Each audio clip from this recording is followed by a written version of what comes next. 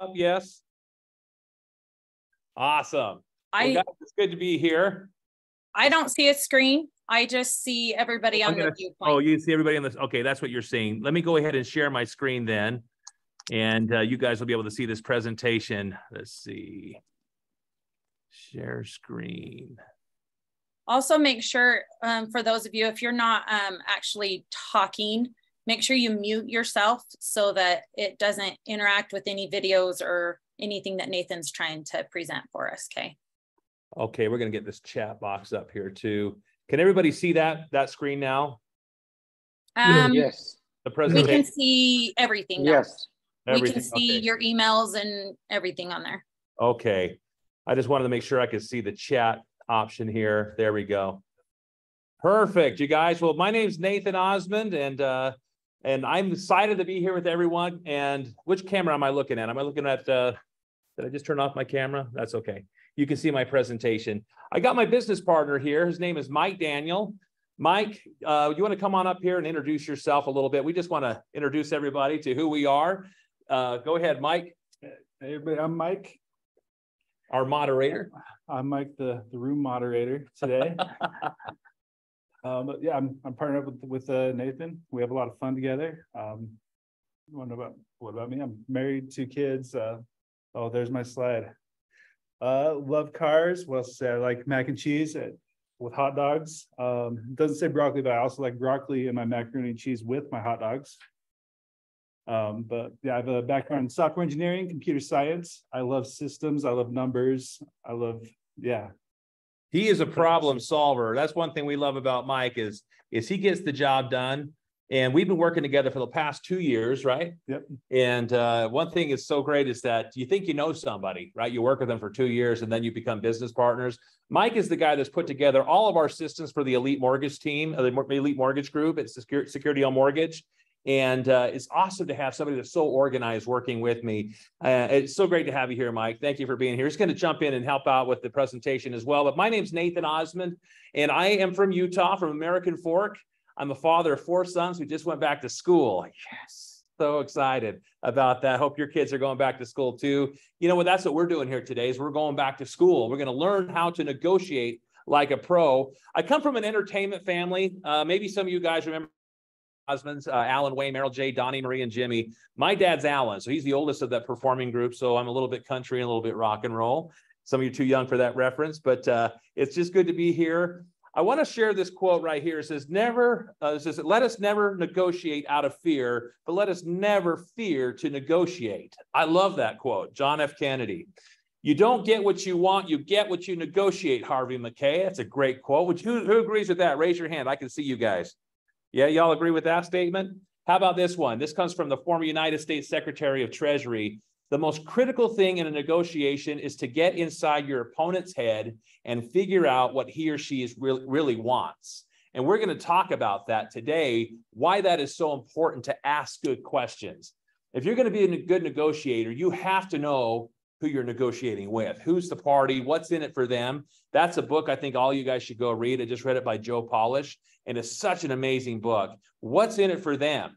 We're going to talk about a lot of good books that I want you to add to your library if you want to become a good negotiator. Let me ask you guys today, and those in person here today, why should we be good negotiators?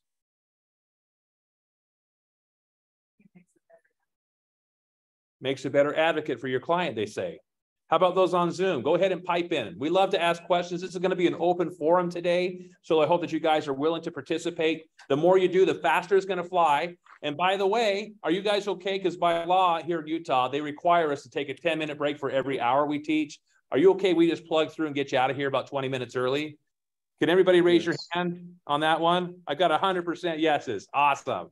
Very good. We're going to go ahead and do that. But I want to open this up and make this a great discussion today.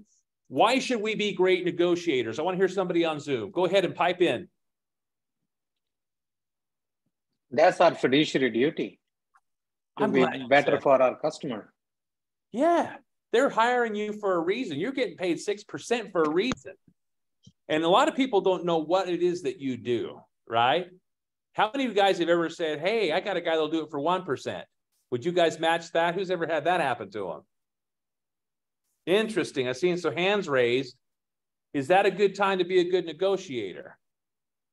Absolutely. Yes. okay, so let's start it off with that question. Hey, I know a guy that'll do it for 1%. Will you match that pipe And Who's the first one to negotiate with me? Should we negotiate?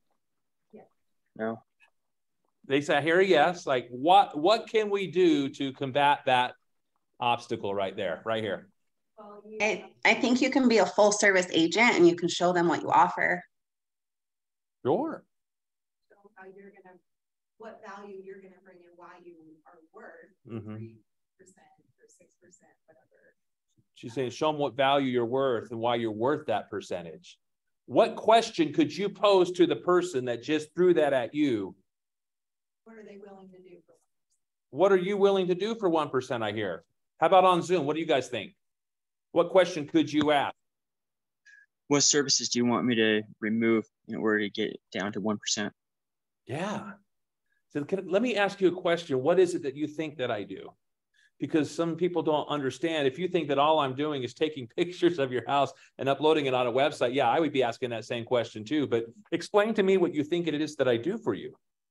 You know, and then you can explain your value. And and and I had one person the other day on this very same class say this: If you got a guy that'll do it for one percent, why are you talking to me? And you could say, you know, I bet you're a lot like me. And you probably notice this in life that you get what you pay for. Would you agree with that statement? Right. See, we by asking great questions, we can become great negotiators. Just like my friend uh, Andy Andrews, you got to read his books. He's got some amazing books, New York Times bestsellers. He told me that one time. He says, Nathan, the quality of our our answers is determined by the quality of our questions. Are we asking the right questions? We're going to get into a book here called Exactly What to Say. And there's a version for realtors. You guys should all go get this book. And I'm going to post some questions for you and show you by wordsmithing, by using the right power of our words, we can control the conversation. The key to great negotiating is helping others get your way. I'm going to introduce a book to you guys called Never Split the Difference. And it was written by a gentleman who, uh, who actually was the head negotiator for hostage situations for the FBI.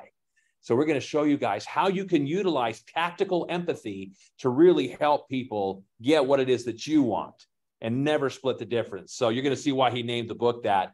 But how many of you today have already had a negotiation situation? Anybody?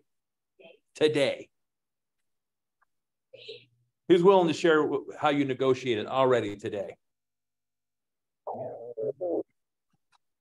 We negotiated whether we're gonna go through our breaks or take breaks. Yeah, do you guys notice how we we did a little situation there? By law, the state requires me to take a 10 minute break for every hour that we teach. All in favor for taking 20 minutes off by just plugging through. You guys all agreed. You see how we negotiated? I got 100% yeses on that. I thought about what's in it for you guys. You get out of here faster. And unfortunately, for some of you guys that aren't here, guess what? You're not going to get the food that's coming from IBEX. We got a great sponsors coming today. But the scope of this class to really help everybody become a great negotiator, help you understand your duties pertaining to the Utah Code governing real estate agents. We also want to bring in the code of ethics as well and talk about our fiduciary responsibilities. That was the first word that came out of uh, Zoom here today was fiduciary. It's our fiduciary responsibility to be a good negotiator because if I'm talking to you and the first thing out of your mouth is, "Hey, I got a guy that'll do it for 1%, would you guys match that?" and I I cave, what does that make me look like to the person who's now hiring me? I should be paid 1% if I say yes to that. If I can't negotiate with my own client, how in the world am I going to negotiate with others for your home? You know what I'm saying? You want to wow them. And, and the key is don't cave on that. If you don't know what value you bring to the marketplace, maybe you should be paid 1%. But you guys are all six percenters. So let's get in the game and show you how you can utilize words as power and help understand the whole idea of how to negotiate because it's fun. When you guys, a lot of people get intimidated when it comes to negotiations. Oh, I don't like confrontation. It's not about confrontation. What was that quote? You got to find out what's in their head. What are they wanting? And knowing how to dig that up, becoming a good listener. How many guys have seen that billboard on the freeway by Ken Garff that says, We hear you? Why have they poured millions of dollars into that campaign? They're car salesmen.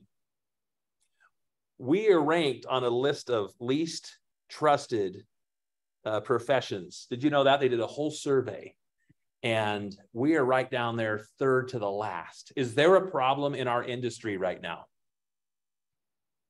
Hey, Nathan, excuse Yes. me. Yes. This is Tana. Um, if you would minimize your screen, we could see you too, if you don't want to be seen, but I think that. Oh, it's fine. Can you these see me now? No, but I just wanted you to know that Oh, yeah. if you want more of a, I didn't mean to interrupt you, sorry. No, no, no, it's fine. I, uh, I mean, I would love to be seen, but how do I do that? Like, where's that? Okay, hold on one second here, Tom. I'll, I'll go ahead and throw that on. Second one. Second one from the top. Right, where? Try that. Yeah, try that one. That's start, start video. Can you guys see me now? No, no, you should be able to- There we are. Okay. Yes, I got my glasses on now. All right, perfect. So let's go back up here and get this on here. So, I uh, just, I just thought of a good objection handler for the one percent commission. hey, I want to hear it. Let's hear it. Uh, I'd be happy to reduce my commission by sixty-six percent if you reduce your price by the same. so what did he just do right there? Where did you come up with that? Like, what's in it for them, right? Yeah. Everybody's tuned into the same radio stations, WIFM. What's in it for me? And if you can show some tactical empathy right there and just say, okay, uh, you, know, it seems to me that that's an important thing, price, right? And, and then you can, we're going to talk about this with this whole Chris Voss book. Guys, never split the difference. The key is to get them to say, that's right. And I got a whole video I'm going to play for you about that. But the thing is, he ascertained some pain. He kind of threw it back in their lap. Let's, let's reverse roles here for a second. Would you, would you, would I ever ask you to do that for your property price? Heck no, right? We're on the same team.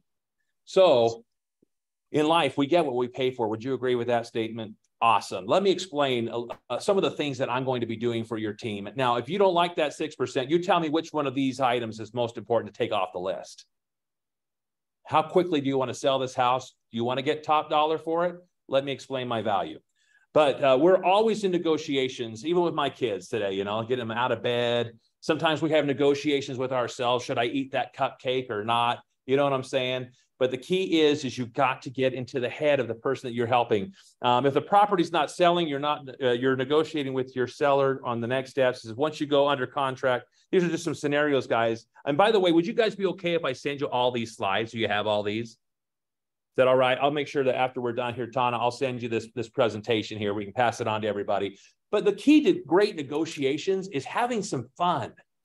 I've talked to great business people that I've worked with in the past, and you know, they get together and rarely do they ever, except for maybe the last five minutes of their get together, their lunch meeting, do they even bring up the business. Here they've flown across the country to be there to meet with the person. And guess what happens? They just chat it up. They laugh, they talk, they have fun, they go on the golf course, whatever it is that they're doing.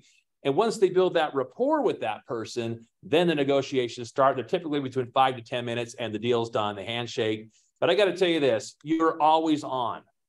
See, in show business, we've always learned that. Like, always be on because you never know who you're working with and always be kind to everyone. Not only is that your fiduciary responsibility, but let me tell you a story about my friend Randy Garn. He's a great businessman here in Utah. He told me a story on my podcast. He says, Nathan, we were going out to New York City. We're meeting with this really important gentleman in this big high rise. We're super excited. We're running a little bit late. I had two other guys with me, you know, and we go to get in the elevator, and there's this lady standing there with this big basket of bread and cupcakes and muffins and stuff like that. And because they were in such a hurry, one of the guys with him said something rude to this lady, like, come on, lady. Like, we're in a hurry. Just something simple like that, right? It was a little bit rude to this lady. Well, it's interesting that she pushed the same floor that they were going up to. You see where this is going? So the lady gets out in the elevator, goes into the same offices, and works, makes her way back to the back because they had to stop and talk to the receptionist. The receptionist brings them into the boardroom. And then a few minutes later, the man they flew all the way across the country to go meet with and negotiate with comes walking in. He says, uh, Gentlemen, we have a problem. The lady with the basket happens to be my wife. And she just told me how you treated her in the elevator. If that's the way you're going to treat someone who could do nothing for you, then we have no business doing business. Have a nice day. Bam. So, guys, always treat everybody with respect. You never know who you're talking to. I have a friend who told me this story. He was leaving a hotel, and this man who was uh, taking all the bags and putting them in the back, you know, he was yelling at this old guy who was going to drive my friend to the airport.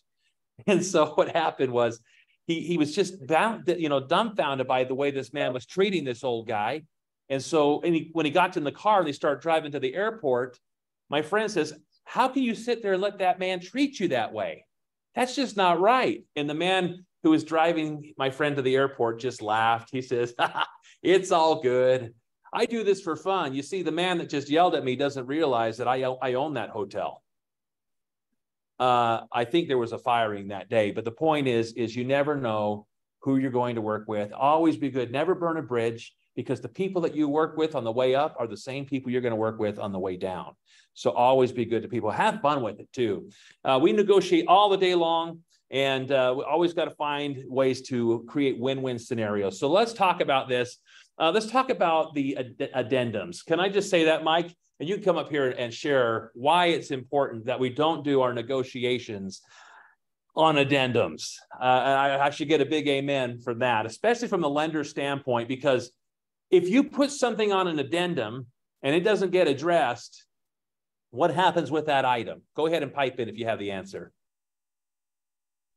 deal can be jeopardized. Yeah. Is it part of the deal now? If you want something struck from an addendum, what has to be created? Another addendum. And so if we say, i want you to do this, and the other person says, I don't want you to do this, I want this in the deal, and then now you're down to addendum number three, sometimes you forget to add what was on the previous two addendums. Now you're already on addendum three, and you're just starting your negotiations from a paperwork standpoint, from a lender standpoint, Mike, is that dangerous? We've had people that say, hey, you're going to fix this uh, radon mitigation system. And the person says, no, we're not. And then you get to three and four and five. What is the underwriter's viewpoint from that conversation, from those addendums? You put it on the addendum, someone's paying for a radon mitigation system, period. You're only jeopardizing your deal and lengthening the time by by negotiating on addendum. So what's a better route? So I, I had when I was first new. Can you guys hear her? Okay, so when I was first like a new no. agent, and this was probably like my third deal I was doing. I had my I was selling a home from a for sale by. She was selling a home by a for sale by owner when she was brand new. And they didn't have an agent. The um, we negotiated with them in an addendum. They negotiated an addendum and they said that if um like we wanted them to pay a closing cost, our closing mm-hmm, costs. They wanted them to pay the closing costs. This guy doesn't know what he's doing and so don't know what they're doing and he just crosses it out in writing. And he says no closing costs. He wasn't wanting to pay. So they go to closing, he wasn't wanting to pay any closing costs, including his own. So guess who ends up so, closing costs? So guess who ended up paying closing costs? Anyway. Yeah. So the thing is, if you learn anything today from this from this class, is do not do the negotiating on on the addendums. Call that listing agent, talk to them, start up a conversation, say, tell me what your needs are. Like, let's just get it out of the open.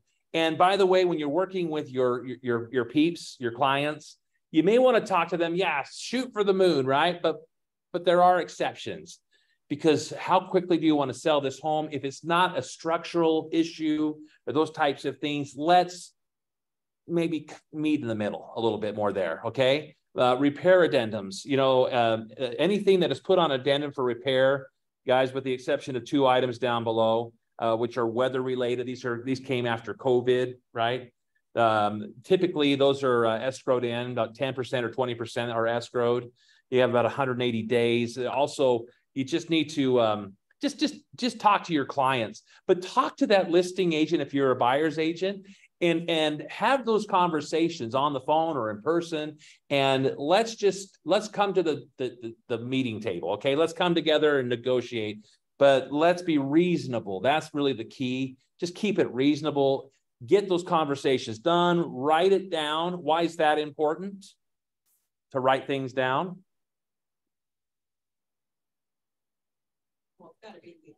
do you remember what was negotiated See, what makes a contract a contract?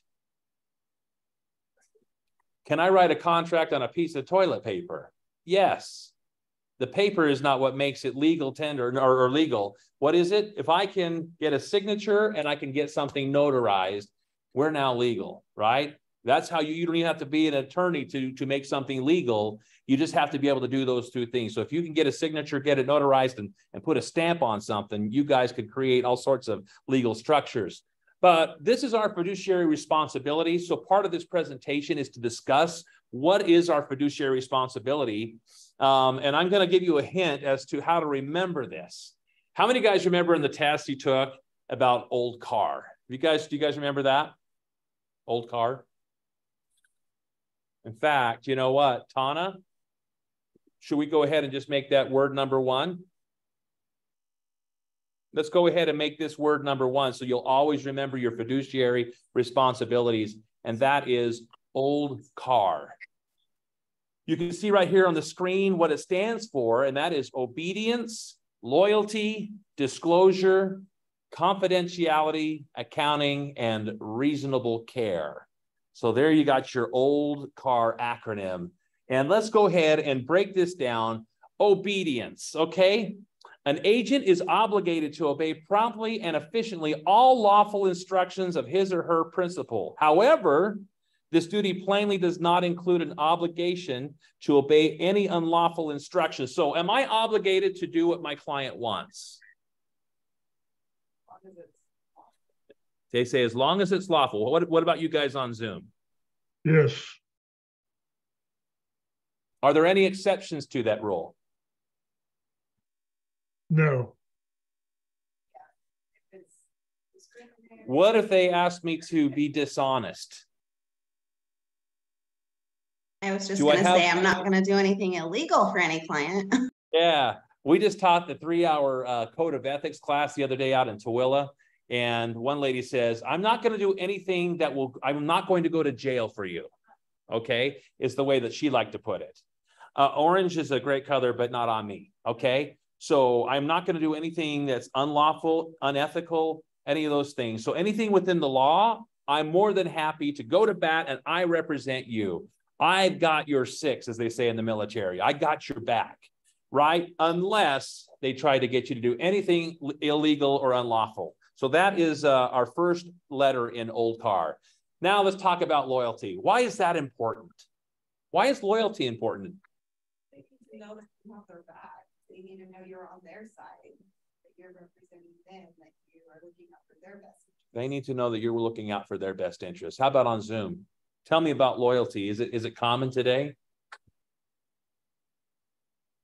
People turn on each other all the time people have to build trust. If we got a trust issue, and we do, you saw the list, third to the bottom, we got a problem. There was a lady I heard, you probably heard of her named Jen. She works here. She spoke up at that women's uh, real estate group. Uh, I went and had, had a chance to listen to her. I'm a big fan of Jen. And she said that out loud. She says, We've got a problem in this business. That's why she's raising the bar every single day here, guys. The problem is, is that people don't trust us. They look at us as salespeople, right? And they're right down there in the third bottom as well. The point is, is that what are people hearing on the news right now about real estate? Chime in. What are you guys hearing?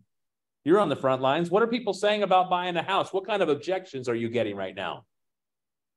Rates are oh, crazy. It's a horrible time to buy, all the negative. Yeah. Anyone else? What other objections? Trust rate. The frustrate. Interest rates are too high, and it'd be hard to find something the same value yeah. that I'd be selling the house for. I'm just waiting for house prices to come down. Did you know that if somebody says that, you can inform them? Well, it already happened, and they're on the rebound. Did you know that there is a shortage of real estate across the whole country, not just Utah? Did you know that Fortune magazine right now just projected that by 2024 rates should be down in the fives? And in by 2024, it's be down in the fours. 2025 will be down to fours. So if we know that, if that's what they're projecting, could they be wrong? Yes. But there's a guy named Dave Ramsey who just said this out loud publicly that right now is the best time to buy a home in the next five years. Why would he say that? Mr. Conservative, why would Dave Ramsey say that? He says a lot of people are concerned about these high interest rates. He says, don't not buy the house, buy the house. And if interest rates come down, refinance, close quote. Dave Ramsey, I'd be sharing that with every Utah. They love him here, right? But why did he say that? And you can educate people. You see how education opens the, the windows to opportunity? When I can sit down and explain to something, did you know that in 1996 across the Wasatch Front, the average house price here in Utah was $119,000? Boy, I bet they thought that was expensive back then. And if you think that house prices are expensive right now, you're waiting for them to come down. First of all, you missed it and it's already on the rebound. They already jumped up 30,000. It fell down 100,000, up 30. But let me just tell you this Guys, they're projecting Salt Lake City to double in the next 10 years. Have you been to the airport? Oh, that thing's huge. I go through that all the time. And the thing is, is that why did they build that big airport? What are they expecting here in Utah? You know, Robert Spendlove is speaking today at a conference for the Chamber of Commerce. I'm tied in with them. You know, he told me last time we have 3 million jobs here and we're waiting for people to fill them in Utah. So the job opportunities are huge. People are flooding to Utah. We were just voted number one state in America. Thank you, World News and Weekly Report. That's awesome. So if we can start educating people, because my own father sent me a text message and all my brothers, don't anybody buy a house right now. Glenn Beck just said so. Are we sheep in this country? We are. And I love Glenn, but here's the point. You got to do your thinking for yourself. And if we can educate and explain why right now is a great time, because if you think the house prices are high now, as inflation starts to come down, what happens to the interest rates?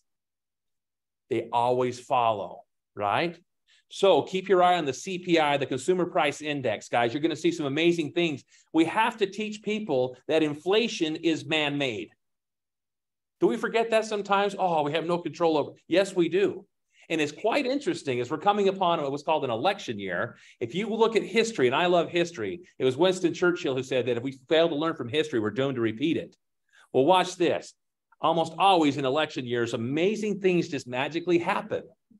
They love to get their votes and they want to be on the minds with positive news, especially as people are about to go to ballot boxes. So, isn't it interesting that right now they're starting to project, hey, coming up, it's coming down, get ready for it, right? People will get excited about those types of things. But what happens when inflation and interest rates come down, especially when there's a shortage of housing across the country? What do you guys predict is going to happen? prices will go up. If you thought it was bad two years ago, just wait. Now, what would you rather have? Lower house prices and higher interest rates or the alternative? You see how we just posed a question right there? When we can educate and train people. By the way, it, how important is it when you're doing negotiations to know your areas?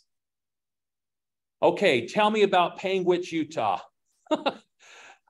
you know a lot about Panguitch. That's I've tried to stump you guys. But if you don't know a lot about Panguitch and you're a Utah realtor, where can you go to get educated really quickly on Panguitch, Utah? Does anybody have any suggestions for me? How can I know the market in Panguitch right now? Go to Panguitch. Ask the people that live in Panguitch. But what if I'm on the phone right now and this is the difference between me getting the deal and not getting the deal?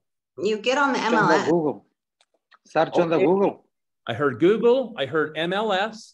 You mind if I give you guys a really cool free website? I want you to write this down bestplaces.net. Make sure you put net. Bestplaces.net is a fantastic website.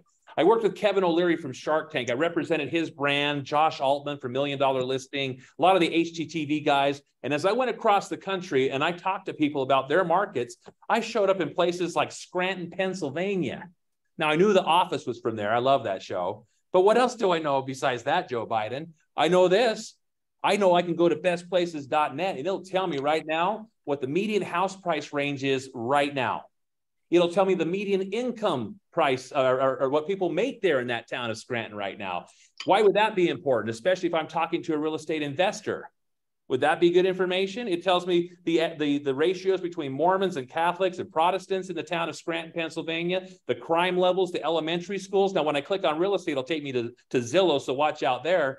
But here's the point. When you have the right tools at your hands, it's amazing what can happen. It's amazing when you can look like a pro and, and people can build confidence in you that you're going to seal the deal. I mean, when you talk to people right off the bat before they sign your little agreement, they have to believe that you know what you know. And sometimes it's just having the right tools and the right answers at the right time or asking the right questions that are going to separate you from the winners from the losers. Because you're on stage where people are looking at you. That is a negotiation. You've got to sell them. So having the right information, go to that MLS, study your market updates, know what's going on so that you can have those answers right off the bat because you won't always have that in front of you. So I encourage about 30 minutes a day if you guys will study the market analysis, know your towns, get in the game. But you got to show that you're loyal to your to your clients there. How about disclosure? Let's talk about the D in old car. Are we allowed to disclose everything? Yeah. You always there's that loyalty, right? You you there are certain things that can be disclosed. Now, could you ever tell the other person, hey, I think the person would accept less? They got two house house payments, they're building out an Eagle Mountain. Could could you disclose that?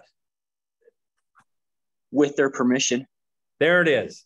There it is. The answer is it depends. And that's almost always the safe answer to every question. It depends. It's got to be in writing first and foremost. If they give you permission to disclose something like that, then yes, you can disclose that. But why is it important for us to not disclose certain things? It affects the value of the property. Yeah. Is it your job? Who's the gentleman that just spoke up? Jesse. Jesse. Is it your job, Jesse, to to be an expert at finding faults with the property? Is that your job? No. No. Whose job is that? Uh, house inspector. Yeah. But Jesse, if you spot a crack in the foundation, is it your fiduciary duty to disclose that? Yes. both parties. Yes. Yes. See something, say something, but just understand your role. Because sometimes we try to handle more than one role. But the key is, is you, there are certain things that you can and cannot disclose. I think we're beating a dead horse with that. Let's talk about confidentiality. An agent is obligated to safeguard his or her principal's confidence and secrets. A real estate broker, therefore, must keep confidential any information that might weaken his or her principal's bargaining position if it were revealed. Um, you know, and the thing is, is that you got to just. You, I served in a bishopric, so I know a lot of things about my neighbors they don't want others to know. And it's so easy. Have you guys noticed here in Utah, we love to chat and talk to each other about our neighbors? That's not just Utah, that's worldwide. And I tell you this, when somebody knows that you've got their six, I do a lot with our veterans. That's a that's a military term. What does it mean to have somebody six? Do you know what that means? You've got their back. You've got their back. You're looking up at 12, what's right behind you? Yeah, it's your back. It's six. And so confidentiality um, you know, if you're a reporter off the record type stuff, you know, you have to be trustworthy. I'm an Eagle Scout. You went to Scouts, didn't you? Did you get your Eagle? Mike's an Eagle. Mike, what is the Scout law? Scout is trustworthy, loyal, helpful, courteous, kind, obedient, thrifty, brave, clean, reverent. Yeah, Scout is trustworthy, loyal, helpful, friendly, courteous, brave. No, no, I messed it up clean and reverent, right? Is that right? I messed that up too. Anyways, but the key is is that we have to be trustworthy. It's the first thing in the scout law. Uh, there's eight boys in my family. My mother earned eight Eagle Scouts. Isn't that crazy? but let's make sure that we're confidentiality secure there. Uh, how about accounting? This is an important thing, especially when we're negotiating with people they have to know they can trust us with their money. Accounting an agent is obligated to account for all money and property belonging to his or her principal that is entrusted to him. Let's talk about earnest money. Okay, so in order to be able to teach the mandatory residential class and the, the code of ethics class, I had to go to a two day class, two days. If you think three hours is long, try sitting two days of this. Just to have the rights to teach this. Now, we talked about a lot of scenarios up there. We had an agent who shared a story and we thanked him for sharing it. He says, When I was a brand new agent, I, uh, I went to go get some earnest money. By the way, how many days legally do you have to get that earnest money turned in? Four. I'm hearing four calendar days. That's how long you have to get it. But legally, you actually have four more to get it in. Just so you know, I know that some people say, don't tell them that. I'd rather just get it in day one. But the point is, this gentleman picked had forgotten to pick up the uh, the earnest money, and thank goodness he had a responsible broker who came knocking on his door. Hey, dude, did you get the, the earnest money? Oh, shoot, it's day four. I'm gonna go get it right now. So he was so excited, ran over there, got it. So glad to have it in his possession, and he took it to the title office. He dropped it off there at title, and he thought, "Oh, we're good." Dun dun dun. Fast forward a couple weeks. The seller's agent says, Hey, you know what? We got a better offer on the table. We're going to cancel this one. We're going to go with them. But you can't do that. I got earnest money. What earnest money? I dropped it off at the title. Did you write an addendum? He had forgotten a very important step. When you take earnest money to a title company, what are you obligated to fill out? An addendum. And he did not do that. So he realizes, oh my gosh, I messed up royal royally, and my clients are in a bad position because of my ineptness. I'm going to own this mistake and I'm going to go knock on their door and I'm going to tell them that I'm sorry we can't get your house because of my mistake. So he drives up to their house and it, the story gets much worse. What does he see parked out in front of this house? Moving vans. See, this family was so excited for this house. They given the earnest money. They had about two weeks left on their uh, lease. So what they did is they were moving into a hotel before they went to go move into their house. And this realtor had to break the news to them that I hope you like the Motel 6 because that's where you're going to be living. They'll leave the light on for you. I messed up. You see what I'm saying? So when we handle people's money, we have to take that seriously. We have to know our duty. As you're explaining your duty to people and what it is that you do, you start to build that 6% value. Yes. The earnest money, if it's not filed with an addendum, they can change their minds. They can go with somebody else, the title company. Yeah, so you have to get that turned in. So that your brokerage that well, there's an addendum that needs to be handed in. Yeah. Like the confirmation. Yeah. So a step was missed in that in this scenario. And if you skip a step in this business, what could happen? He never.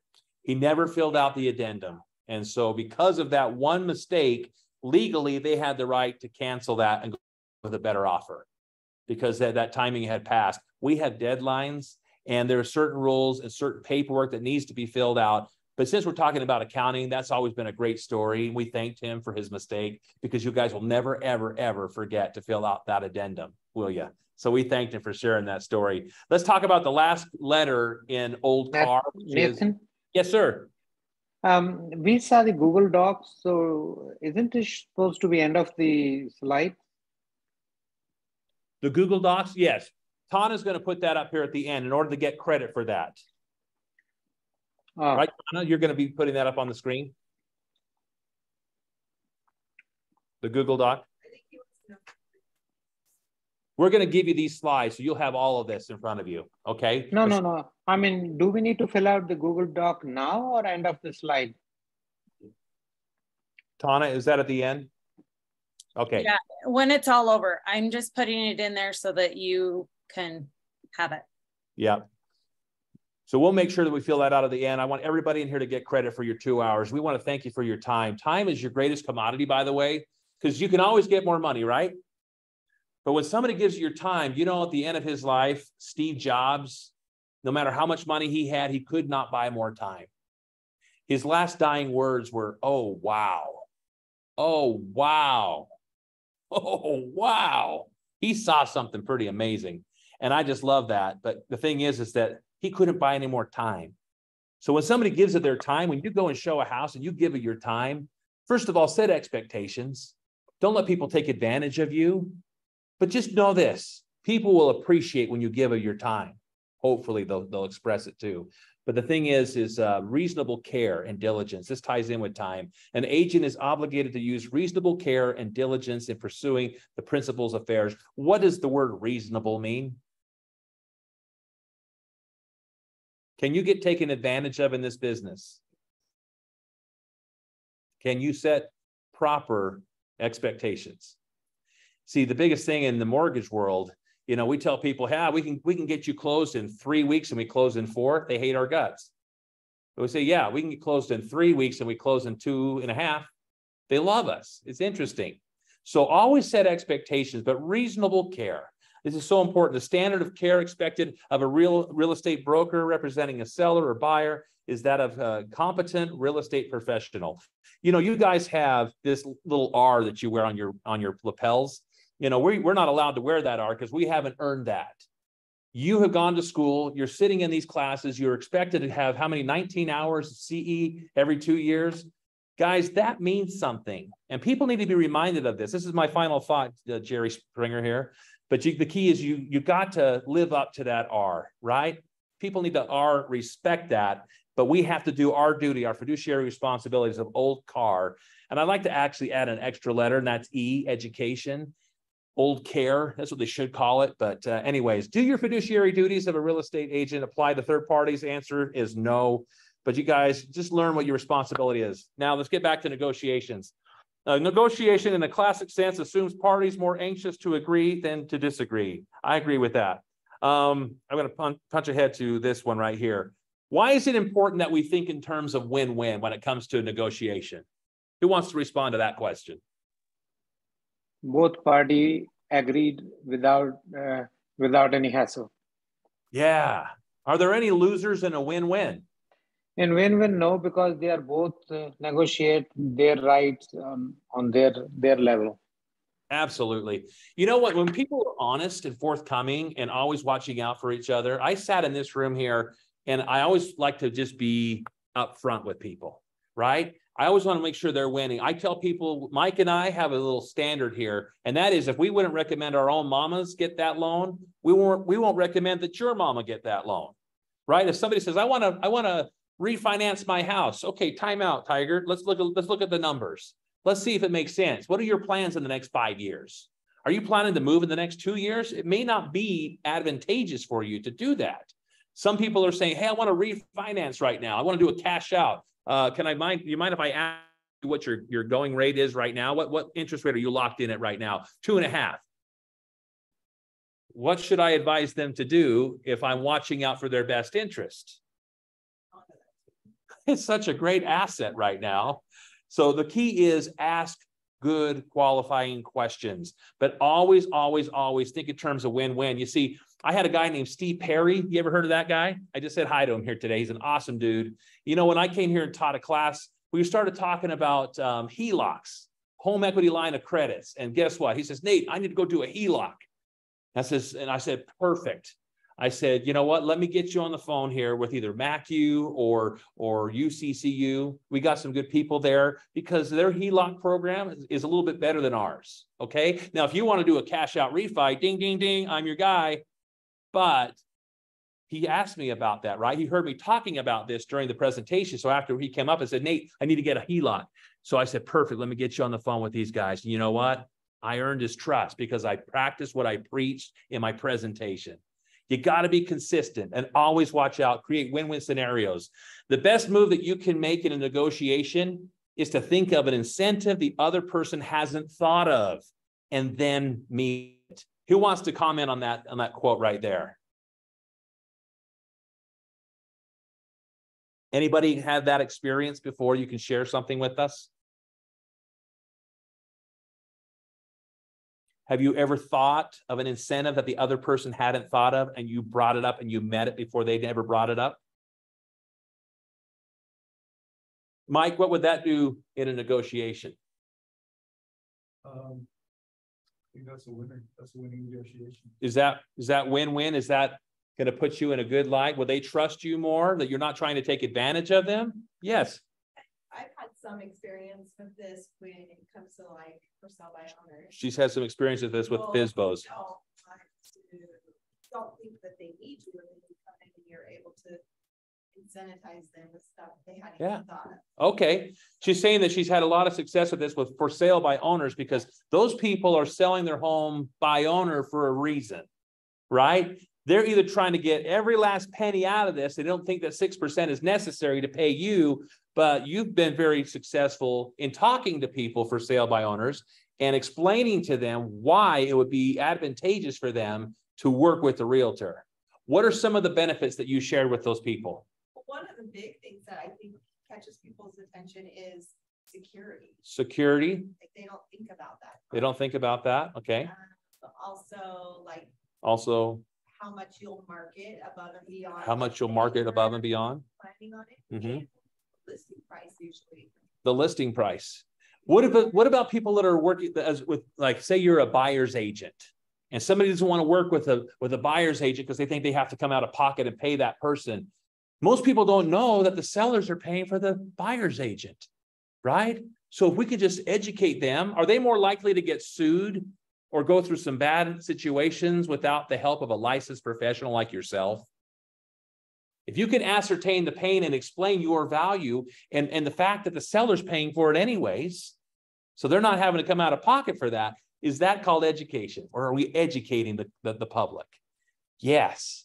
And this is stuff I wish they would have taught us in high school, right? We're not taught this. So we can't blame the general public for not knowing this, but is it our fiduciary responsibility to explain these things? Yes. So think of things that you can incentivize the other person, of something maybe they didn't think about, and hook a brother up. It's awesome. Let's talk about tactical empathy. I'm going to play a video now. Tana, will you make sure give me the thumbs up if you can hear the audio on this? This is Chris Voss. This is a kind of a recap on this book called Never Split the Difference. We're going to watch this video and then we're going to discuss it. Check it out. Can you hear that? I recently read the book Never Split the Difference. I recently read the book Split the Difference. Voss. Hold on. Several years ago, author Chris Voss Let's see. Do you know how to make the audio? Was that a thumbs up? Could you hear that? Yeah, you fixed it. Oh, good. Okay, perfect. Let's go ahead and play that again.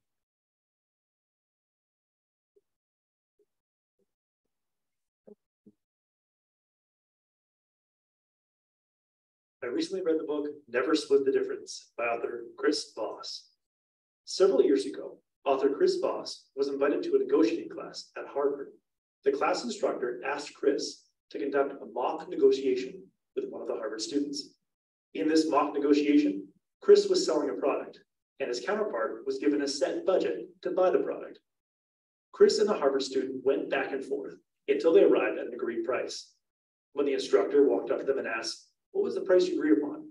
Chris told her, and she immediately burst out laughing. She said, Chris, you literally got every dime he had. The instructor was used to seeing their students split the difference between the minimum selling price the seller was given and the max budget the buyer was given.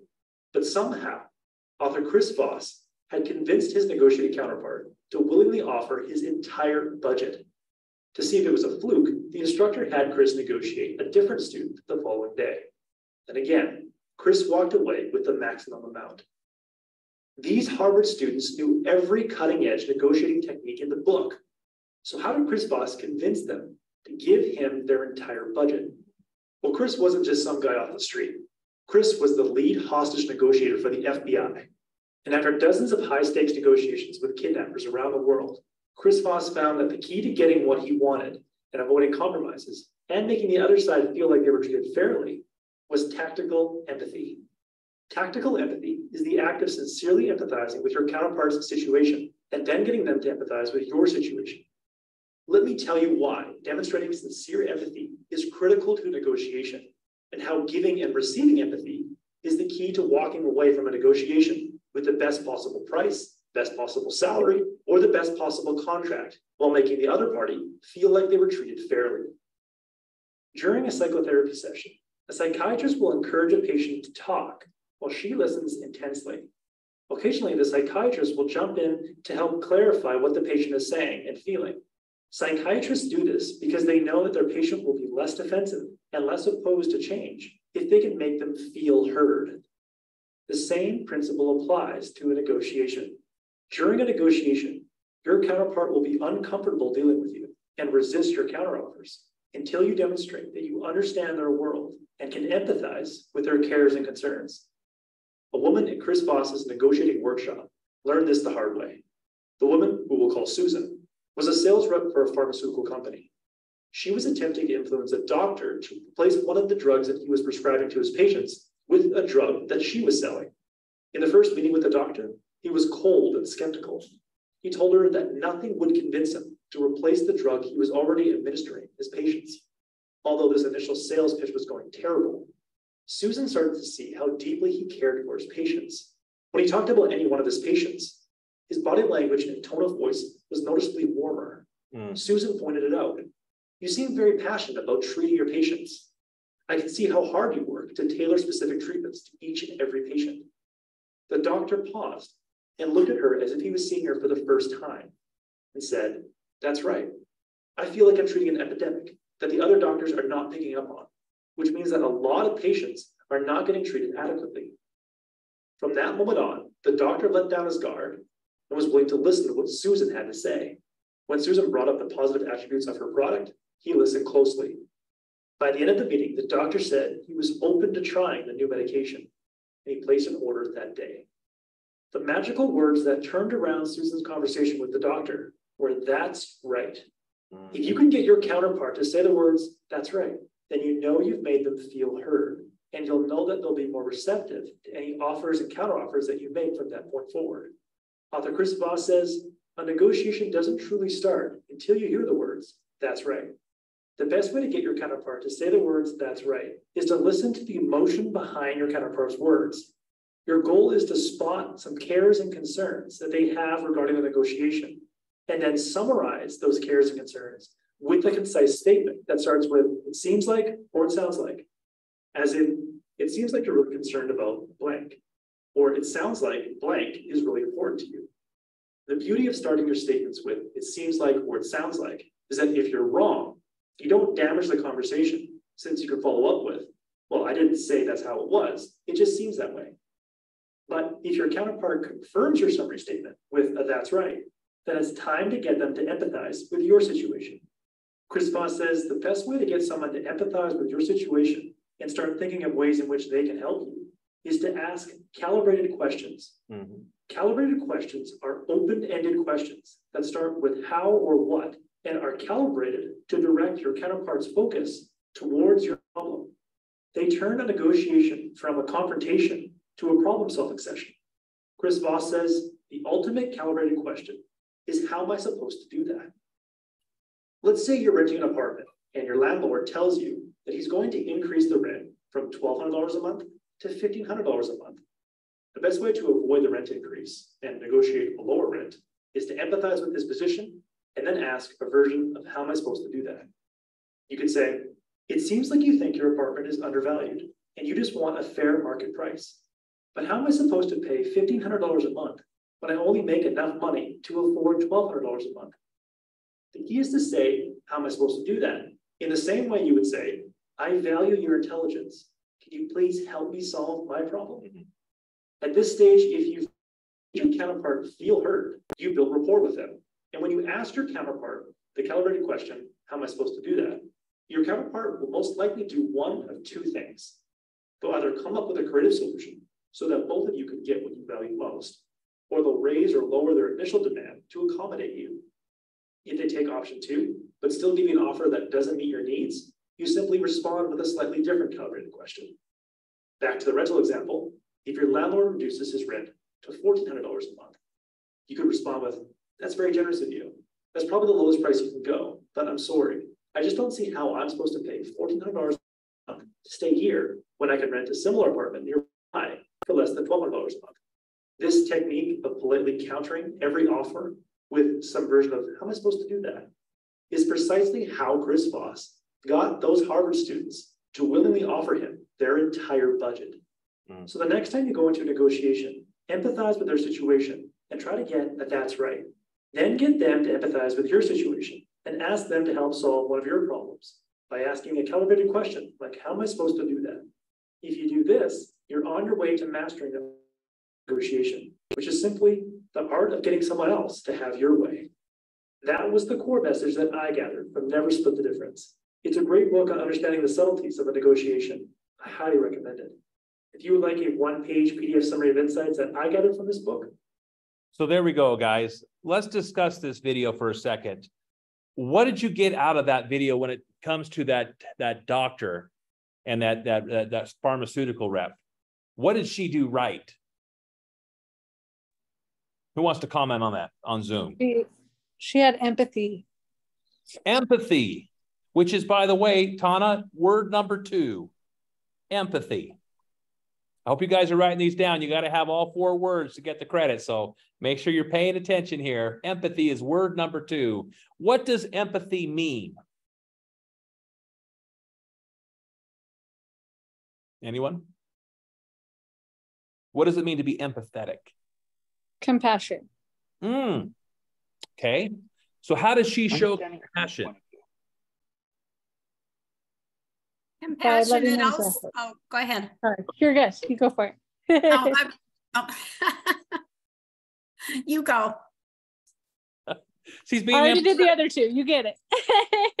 Okay, empathy to me means, um, you know, you, you're, you're not only compassionate, but you, you understand how the other person feels.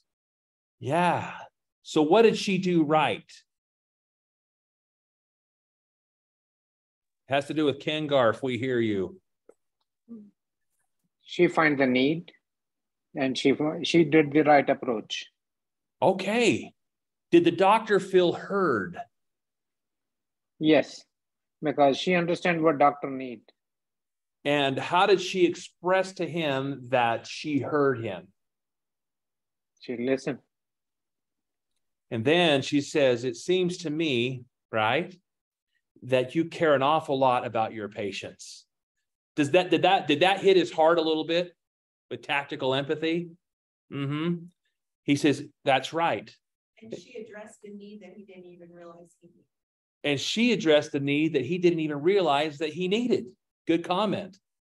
So she thought about it before he knew about it, and she inserted that in the conversation. But before she did, she listened well and she responded with tactical empathy by saying, It seems to me that you care an awful lot about your patients.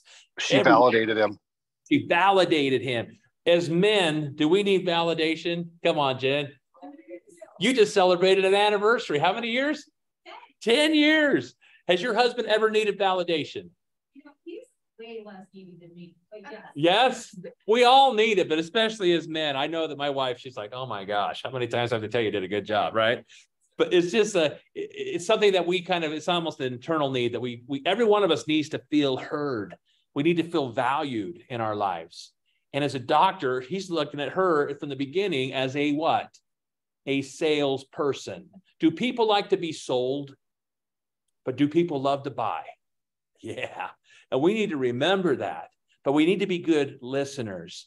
And then and then and, and repeat back to them what it is that they've shared with us. You see, Chris Voss had this this uh, this uh, hospice situation that he was thrown into, and he had like 24 hours or less to get this guy like millions and millions of dollars because he used tactical empathy. Guess what? The guy let the guys go and received zero dollars. He's that good. But you know what he said? It- the, the story continues. A couple of years later, he got a call back and he says, Hey, whoever hired Chris Voss deserves a raise because if he can get me to do that, he can get anybody to do anything. Click. The hostage called him and complimented Chris on how good he was at what he does. I think that's such a compliment. You guys have got to go read this book. Never split the difference. It's so good. But I love how she listened. She complimented it. It seems to me, or it sounds like, you see what you're doing right there? You're wordsmithing. You're using words that dis- disarm the other party because they say, no, that's not the way I feel. Oh, okay. It just, it just seems like that. Explain some more. Let me listen some more. Right. But once people get to the, that's right. If you can kind of repeat back to them what their needs are, what they're looking for, and you get a that's right, bingo, you're on to closing this deal, guys. That is a magic two set of words right there. That's right. And you're going to go read that book. You'll see time after time why I mean that's true. But let's talk about uh, other parts of that video, though. What else did you learn from that video? You had the doctor situation, but then you had the landlord situation. What did that person say to the landlord that was wanting to raise his rents? How am I supposed to? Okay, but he also complimented him before he said that. It seems to me that you feel that your property is undervalued and that you need to charge more. Am I right in saying that? That's right. There's the words. Okay, now what is he doing? He's trying to get this landlord to help him solve his problem now. Like, help me out here. How am I supposed to do that? Chris Voss uses that term on every hostage situation. How am I supposed to do that? You're, you're asking for help. Are people natural problem solvers or like to pretend they are? Does anybody ever offer their advice to you, Jen, when you don't ever ask for it? right? But the point is, but what does that mean to them when somebody's experiences you takes the time to listen to them? I have an open door policy, right? Come on in. They feel valued. You know that validation and feeling valued is the number one reason why people stay with a company. It's not the money. It's not all the, it's the recognition. They want to feel that they're heard. There's a company in Japan right now that gives everybody on Fridays like three hours to go and work on whatever projects they want to work on that can help further our company. Use your creativity, use that right brain, bring it to me. I'm the boss. Guys, this company is like exploding because they feel like they're valued, that they have an opportunity to share what's what they can bring to the table. Why do you think trophies are important? Why do you, why do you think we do that? Right? That's the point is that recognition, being heard and being validated is a big part of winning in a negotiation. Um, uh, here's another good question that uh, that that Chris teaches. He says, "Is now a bad time to talk?" Why would that be? Is that negative? Is now why would why is it important when you're starting a conversation with somebody to ask a question? Is now a bad time to talk? You're checking their mental state of being. Hmm. Is it important to negotiate with a person in a good state of being? That's non-distracted, not distracted. What do you think? If you're interrupting their dinner with their wife and kids, is that a good time to be talking real estate? You're valuing their time. If you say, is now a good time to talk? It's never a good time to talk. But there's something by using the word bad. See how words are powerful? Is now a bad time to talk? People don't ever want to come off sounding rude. They never say, yeah, that's a bad time to talk. No, so they'll you're utilizing psychology. So is now a bad time to talk? I challenge you guys to use that this week when you're talking to somebody. And then if, if they say that it is, okay, let's schedule a time. That would be a great time to talk then, you know, bam. And then you get it on the calendar, you follow up. Follow up is key. But you can also ask this question Is it a ridiculous idea? Dot, dot, dot. You know what I'm saying? If you're trying to get something from them, you can ask that idea because once again, psychologically, people don't want to be rude is it a ridiculous idea? Because they don't want to call you ridiculous. You see what I'm saying? You're taking more of a negative approach. In fact, he utilized this, Chris Voss did, when he met this gentleman, he went through a book signing. He really wanted to have him come and be on this, uh, this show that he was doing. And he says, is it, is it a ridiculous idea that you would come and be on this show that I host, you know, as a guest, blah, blah, blah. And here he's in the middle of signing books. Next, next. But when he asked that question, is it a ridiculous idea? And then he asked for what he wanted in, in his business. The guy said, Come here, come here. You know, it stopped him in his tracks. I was just talking to Giselle out here at the front desk, and I told her about the first time I met this guy named Trace Atkins. If you're a country music lover, you know who Trace Atkins is. And I was backstage, and I love to watch people, right? And as he was coming off the stage, it just knocked it out of the park there in Nashville. I see all these people. Hey, can I get your autograph? Hey, can I get a picture with you? You know what I thought to myself? I'm going to brain rock Trace Atkins right now with something I just came up with on the spot, right? I'm going to stop him in his tracks. As he comes walking past me, and I knew he was tired, he wanted to get off stage and go get cleaned up and all that. I said, Hey, I loved you in Mom's Night Out. And it just stopped him in his tracks. This six foot like giant goes, You saw that? I was like, heck yeah, man. And I introduced myself, and man, we just became friends, like because it was so different. Sometimes you just got to know what to say in the right time. And I'm going to go over this book called Exactly What to Say. I listened to it twice over the weekend. You guys are going to love some of the things I'm going to throw at you here in a minute. But uh, I know we're looking at time. I want to fly through this. Uh, here's something that, that Kevin O'Leary taught us. He says, so much of life is a negotiation. So even if you're not in business, you have opportunities to practice all around you. Look for opportunities to practice some of these this week. Now, this is going to be an, another video I want you to watch. Now, this is a different type of negotiation. This has nothing to do with real estate, but we have everything to do with real estate by watching this. Check this out. Oh, here it comes.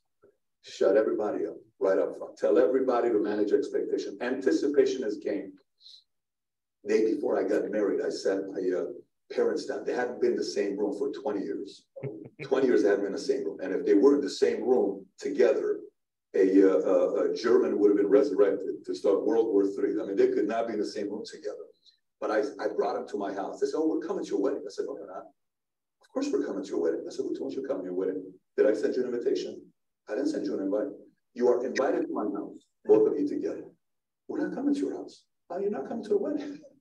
says, what is wrong with you? You're, or your parents? So I said, listen, understand, it's very simple. You come to my house, that is your ticket to the wedding, because you are not going to create this escapade at my wedding the first time you see each other after 20 years, on all this other stuff. So they came to my house and they sat there.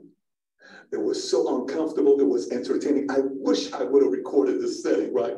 So they're sitting, I'm looking at them. I can't take the smile off my face because I'm having too much fun with this. So I say, hey, uh, mom, dad, I'm going to step out.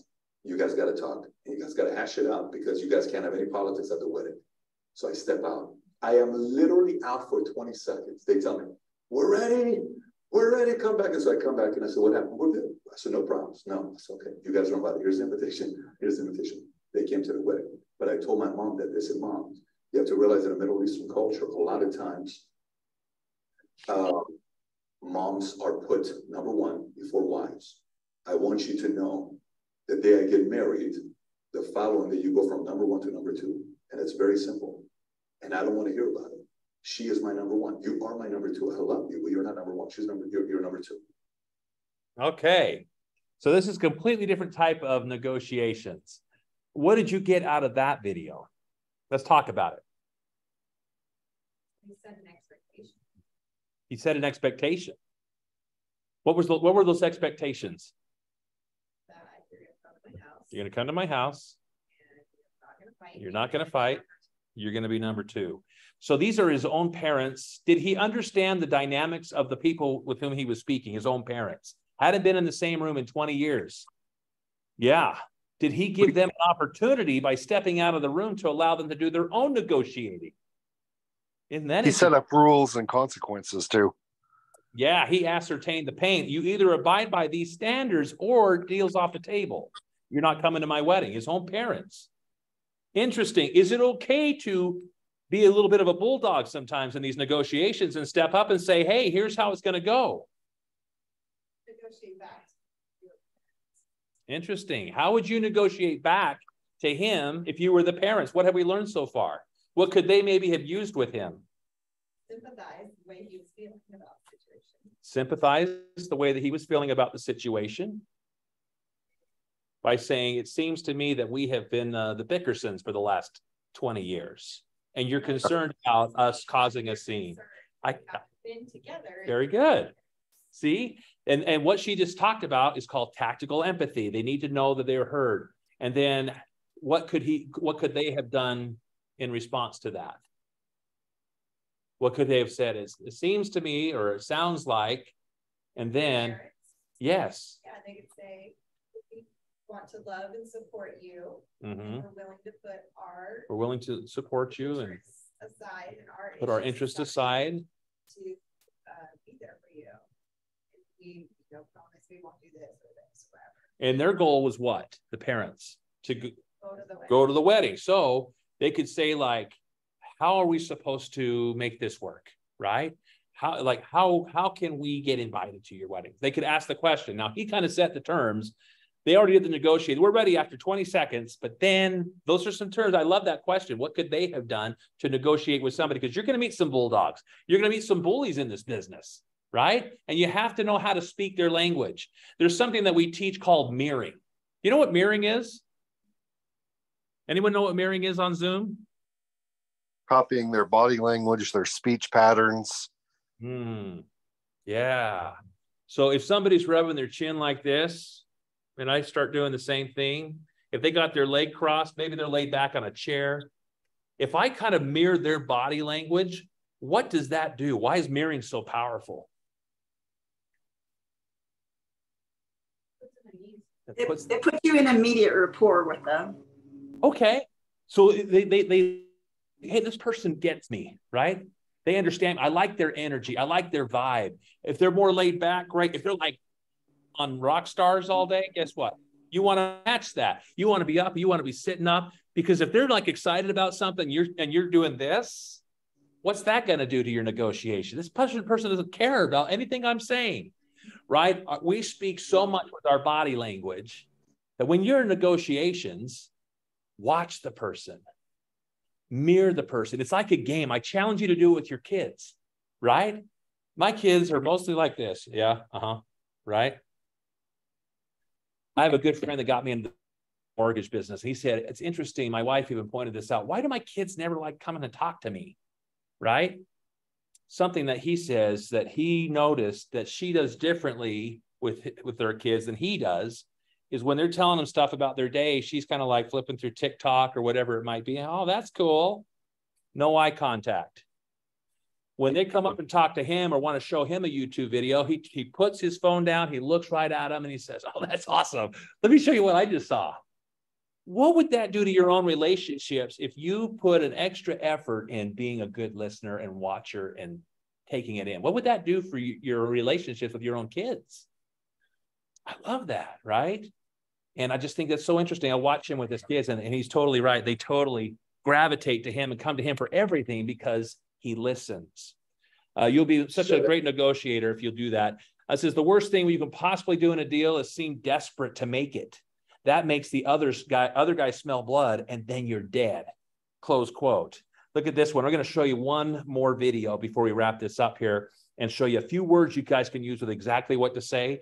These guys are real estate investors. There's a little bit different type of uh, negotiations here, but take a look, listen to this. I know these guys are from Utah. Check them out. If Stephen is my realtor and helping me negotiate a property, that means that I'm the buyer, and if Nate, who's filming this, he's the seller, Nate's got a realtor. And so basically, his realtor, my realtor, they're going to get together and they're going to be having conversations back and forth. Now, that's what the negotiating world looks like. And here's how it typically goes down. Stephen, I want that property and I want to get it for 100 grand. So I want to offer um, 70. Let's offer 70. Sure. So here, here maybe it's list, let's say it's listed for 120, right? Chris will come in and he'll offer 70. I'll submit the offer for 70.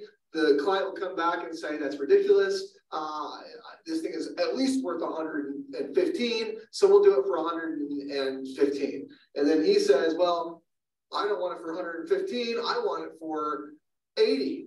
So I'll go, he gets back and forth and back and forth. Now, every time, every back and forth is going to cost you 48 to 72 hours because every contract comes with a you have 48 hours to respond, or else this is no longer a good offer. Valid contract. And so what will happen is, is I'm, I'm going to mess around with the lowballing, and then it's good two days later, the contract's going to come back to me, and then it's going to come back here. And we're engaging in this pathetic game. Meanwhile, someone else sneaks in like a thief in the night.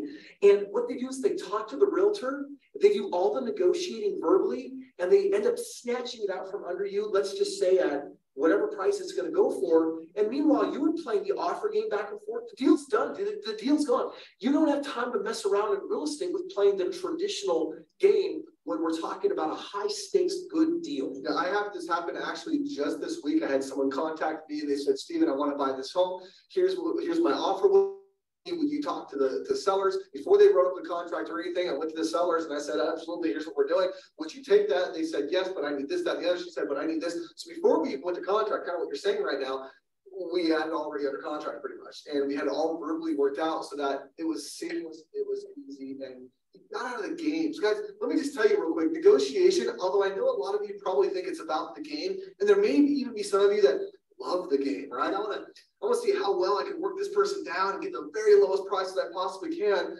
The reality is you can avoid so much time wasted and so much effort wasted by just getting into the negotiation process with your highest and best. Talk about the highest and best for just a moment. These are the two tips that we want to roll out for you. The first one is highest and best, which is if you're going to play like a real real estate investor, then you just start out with the price. Instead of playing the high-low game, just jump in and communicate, this is my price and this is my best price. Highest and best essentially says, hey, I'm a professional. I know what I'm doing. I'm not here to mess around. I don't want to play the, by the way, when Stephen submits that, we're looking for a 24 hour turnaround time.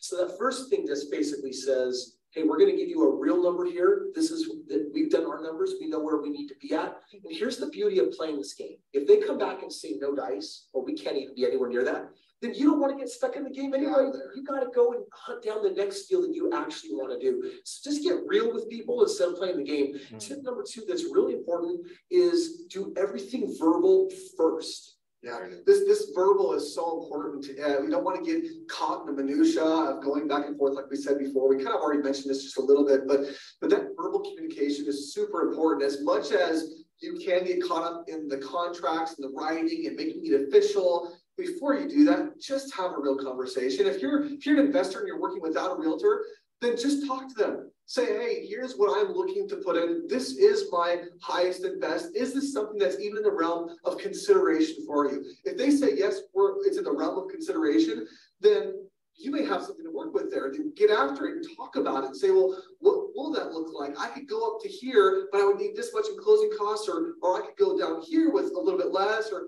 you can do all that verbally before you get into it and actually submit the offer so that when you do, it's solid and it's going to be accepted. Like Chris said, 24 hour turnaround time, you're done. So a really good realtor actually knows how to get behind closed doors and have a real conversation that says, all right, let's be honest. Let me tell you what my buyer really wants for this. Where's your seller really at? What are you guys really able to do? Let's just find out whether we can make something happen. All of those pre-negotiations that happen verbally leads to submitting a piece of paper that goes back and gets an approval right out of the gate. And we just skip the entire game. Meanwhile, while everyone else is messing around trying to play this low ball offer game, we're just getting business done. I want to talk about this real quick. Um, I went to go buy a car recently, and uh, when I sat down with the car salesman, yeah, I was I was waiting. I was waiting for the typical scenario, and I sometimes, you know, negotiation can be fun. Maybe, maybe you get a little high out of that. And I'm, I was waiting for it. I was like, okay, this is because you hear about used car sales guys, right? And, and, the whole industry, not just used cars, but any any car sale, you kind of you've heard about the industry and kind of gets a bad rap sometimes. I go in there and I sit down and he tells me his price. I say, you know what? I really love it for this price. And and I was I was low balling a little bit. I was kind of playing that game.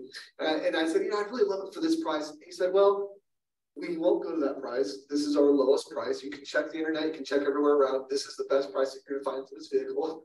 And, I, he said, and we don't negotiate. Like he said that to me. He said, we just don't negotiate. And I said, okay. And I, I was trying to play hard to get, right? So I said, okay. And I turned around and said, I'll, maybe I'll come back. We'll see. And I, and I left. And when I, when I left, I went home, did my due diligence on this vehicle, and he was right. It was it was the best price for the vehicle that I could find anywhere. I mean, anywhere of anything even close or similar. And so I came back and I said, you know what? I, I, I changed my attitude, my idea about it. It was awesome to have someone come up with full integrity and say, no, we've done all the research, we've done all the due diligence, we are professionals. This is our lowest and best that we can go. And if that works for you, great. If it doesn't, that's okay. And I'll tell you, I ended up buying the car from them. So, so I want to tell you, I want to give you one last final bonus for this video, which is make sure you don't lose a fantastic deal over a couple thousand dollars. Yeah. You need to get really clear on what your real price is. It's not about how good of a deal you can get. It's about knowing what the deal is that you need. And it's about getting to that point and whether you can or can't. I got to tell you that I've lost many deals over $500 and over $1,000 because I got lost in the game. Um, I'm, I'm, also being really attached. You said something really important there, Stephen. You evaluated your reevaluated your attitude. And you went in and you changed it. For me, when I go in on a deal, I know what I want. I know what my lowest is. And once I start that negotiation, my goal is to get it done as quick and as fast as possible inside those parameters. And if I've done that, then I've come out a winner. So know your numbers, know where you need to be at, go in for the negotiation, and remember today's two tips. The first one is present your best offer and make sure you communicate that you're not here to mess around, that that is your best offer. And then the second one is get as much negotiating as you can done verbally before you actually start submitting paperwork.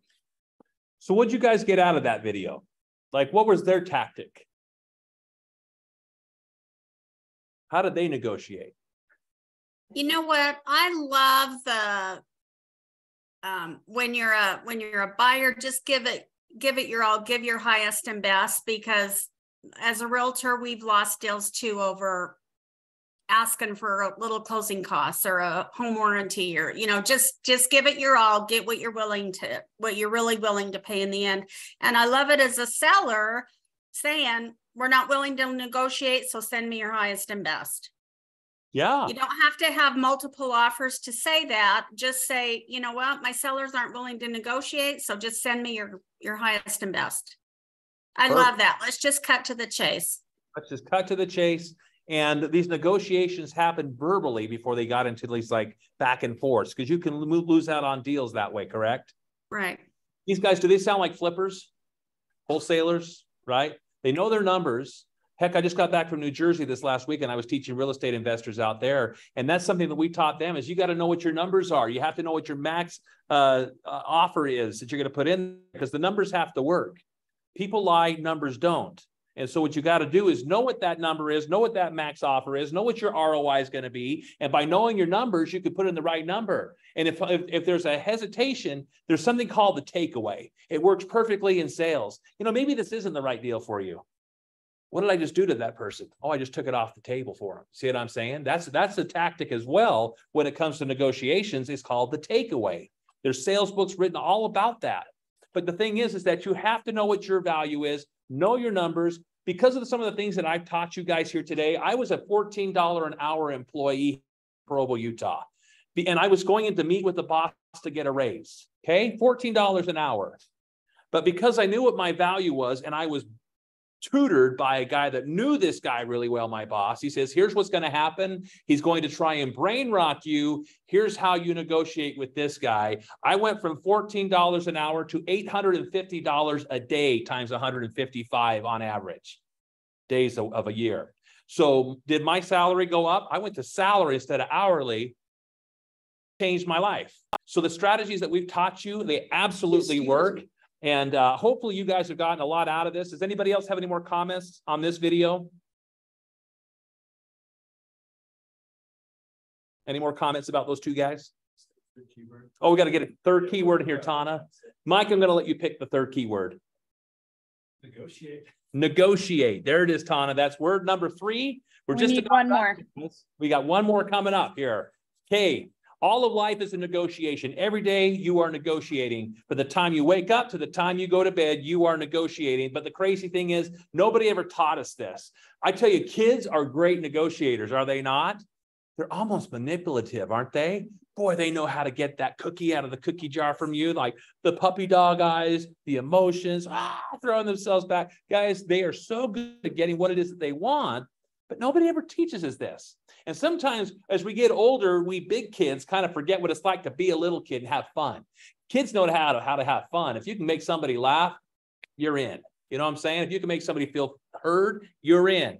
But first, indeed, you need to focus on win-win solutions. There's three ways to find out uh, what they want. We can let you guys read through this as I'm going to send that to you. But um, I wanted to skip ahead and show you this guy, George Ross. I had a chance to work with him on the road, and he taught me a lot about negotiations. He's got a whole video it's included in this slide that you guys can go watch about how he does these negotiations. He actually walked into New York into the Chrysler building because that's a deal that he did. Have you guys heard about the Chrysler building?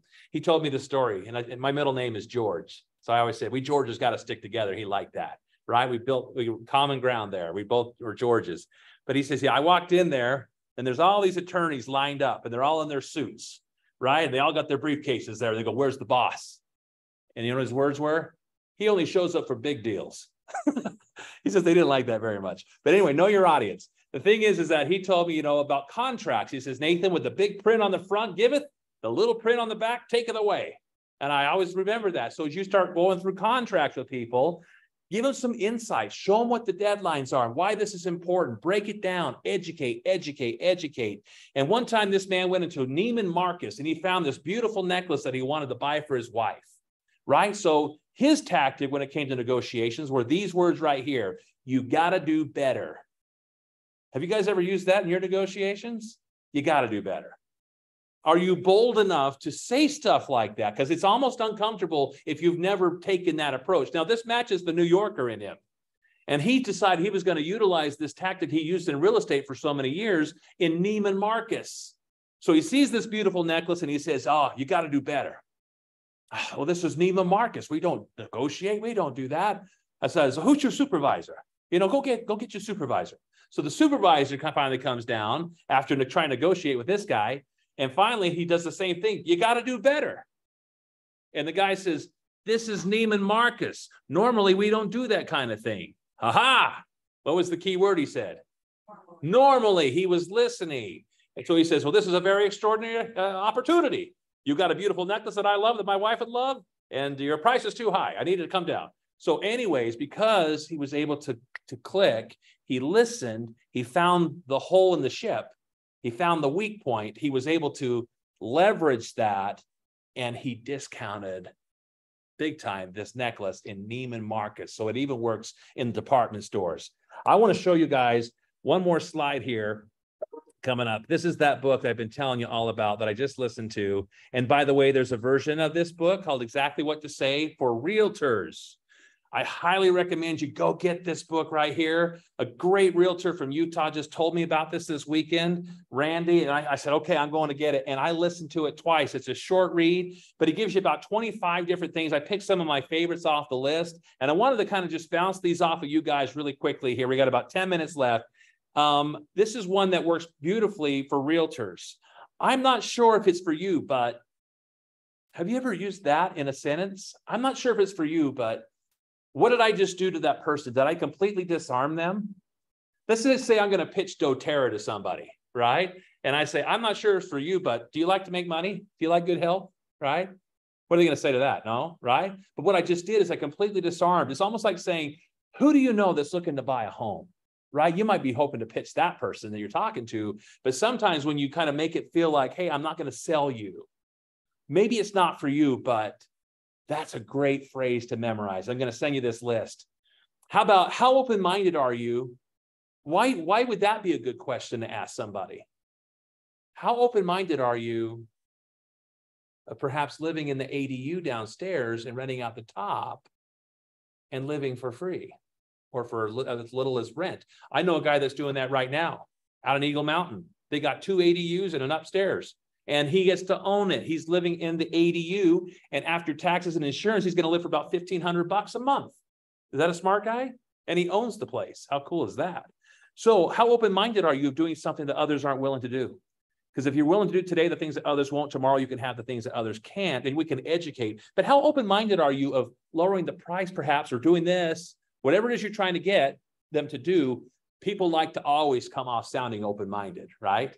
Especially in today's world. What do you know?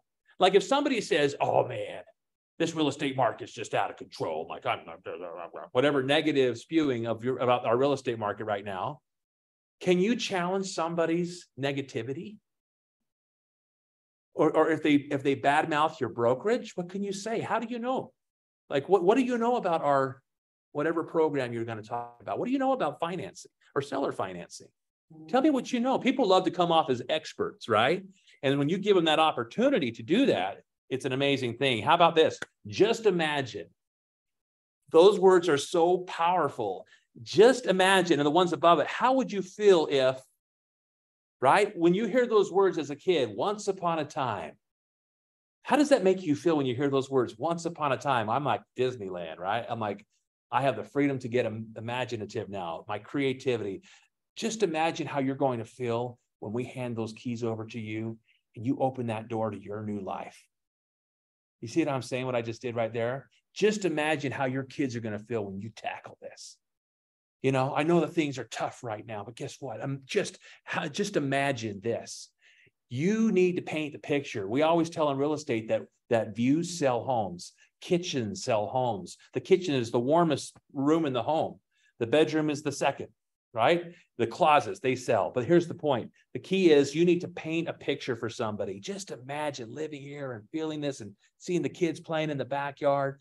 It's a great sales tactic here, guys. Exactly what to say. When would be a good time? See, is now a good time? When would be a good time to blah, blah, blah, blah, blah. This is one he gives to you. Uh, you have three options. Why is this an important thing to say?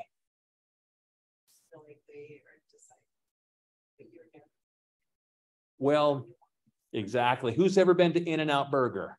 One, two, or three.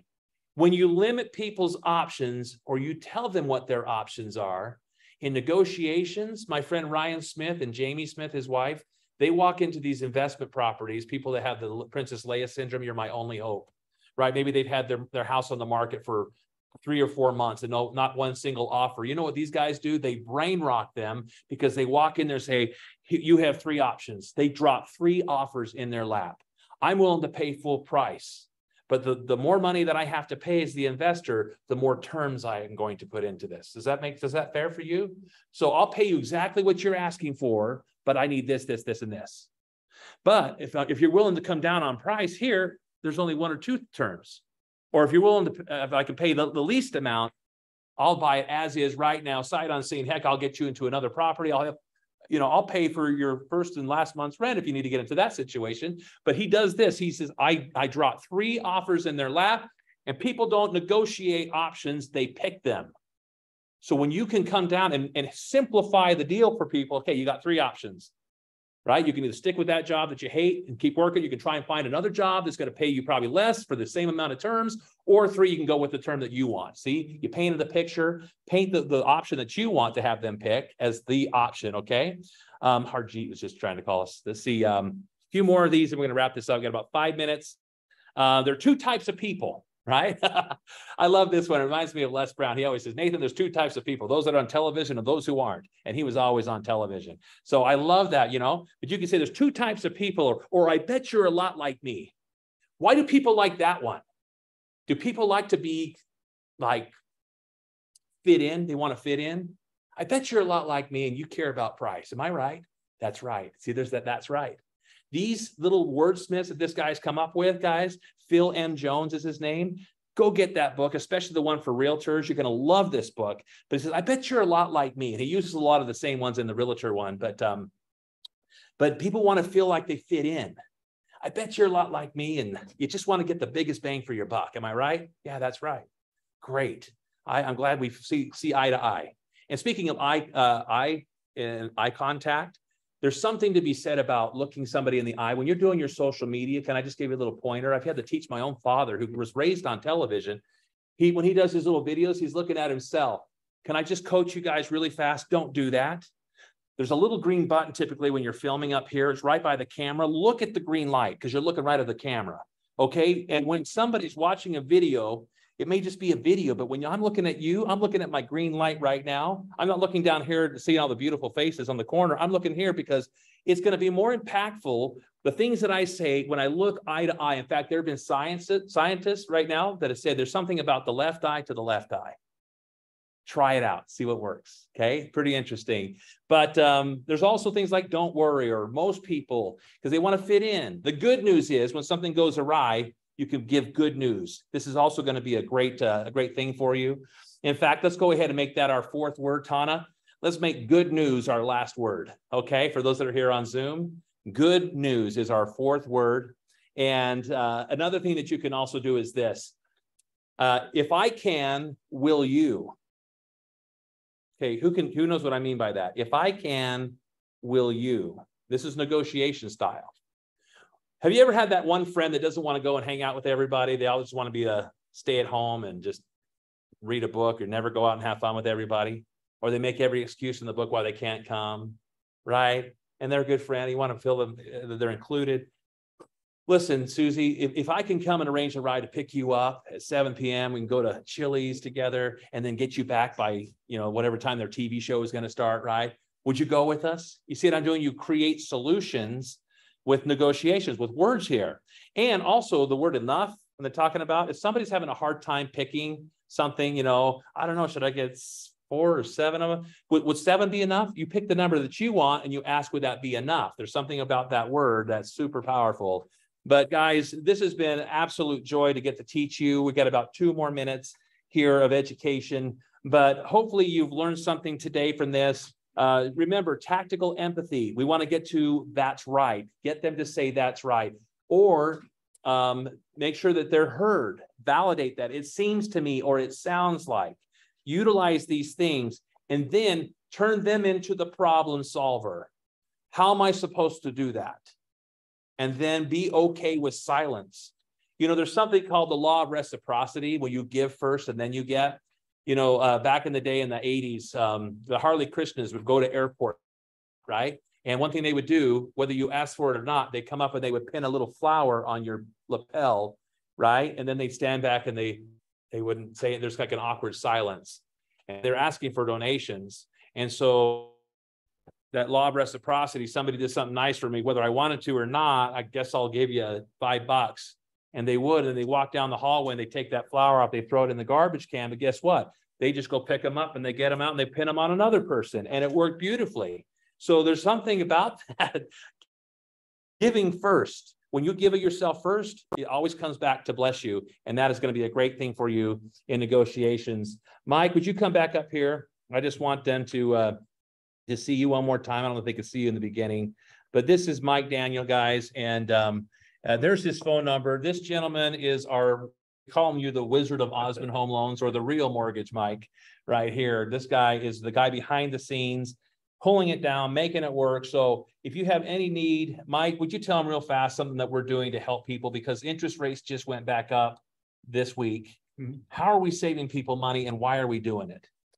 Yeah, so we are offering free appraisals to anybody that can get us their documents within twenty-four hours.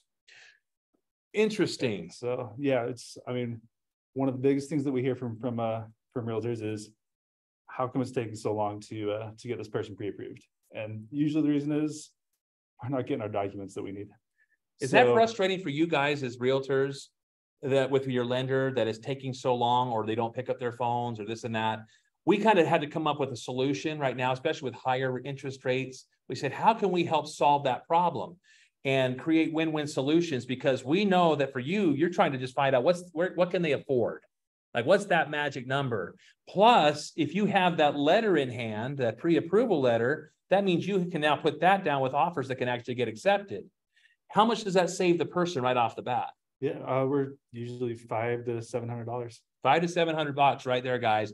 So I came up with an idea the other day and I said, listen, it's not about us, Mike, it's about the realtor. And so we've put this out to realtors out there to try this hook if it makes sense for you. Say, hey, would you be okay if I saved your family between what six to eight hundred bucks right off the top? Uh, sure. How? It says, well, how about a free appraisal? I've had a hundred percent success rate with yeses on that. So we get on the phone with Mike or Nate, and guess what? We'll facilitate that. But here's the beautiful part about this whole scenario: in their minds, the realtor, you, you're the one that saved them that money. And that is so awesome. I'd rather have that all day long that they thought it was you that saved them that because it was. You're the one that brought it up. So if you want to try that, give Mike or myself a call. And by the way, uh, we're going to bring him up here. Adam, would you come on up here? I want you guys here on Zoom to also meet somebody awesome here in this business.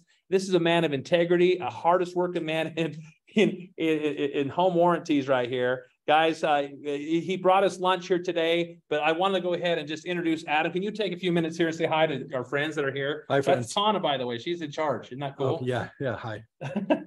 Yeah, I just, uh, I just wanted to go over something if I can, um, real quick. Um, one of the things that we did on July first. Does anybody know it? Can they hear me or can you, can you respond or? Can they talk? They can hear you. Yeah. Okay. We Um, can hear you. Okay, cool. On July first, we went from our price of six hundred dollars to seven hundred dollars. And I just wanted to kind of go over the reasons for that.